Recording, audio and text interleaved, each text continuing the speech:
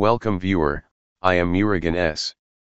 This video tutorial describes, setup was unable to create the directory error 2.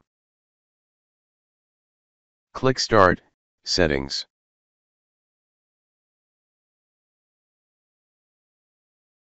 Click Privacy and Security. Click Privacy and Security.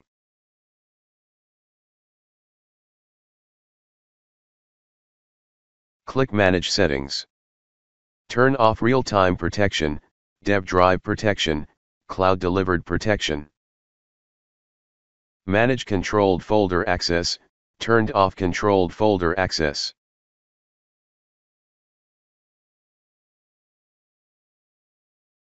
Firewall network protection, click private network. Turn off Microsoft Defender firewall.